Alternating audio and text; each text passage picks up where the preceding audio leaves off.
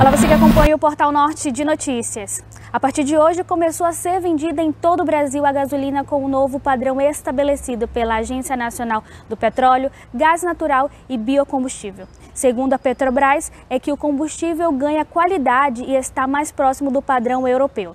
As mudanças valem para a gasolina tipo comum e prêmio, que é indicada para carros esportivos. No entanto, a agência deu um prazo adicional de 60 dias para as distribuidoras e de 90 para as revendedoras se adequarem a esta nova fase. Mais informações você pode ter na matéria abaixo.